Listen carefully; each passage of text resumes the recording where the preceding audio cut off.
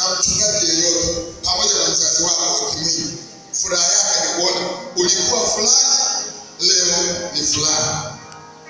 Mwisho mimi namkumbuka, kuna kijana mmoja hapa chuoni alikuwa na jina Chamara the Boss, na watu wanamkumbuka Chamara the Boss. Eh? Alipita hapa Chamala the Boss, namuuliza ah, Boss, akasema yaani mimi tena bosi mkubwa kwelikweli mchungaji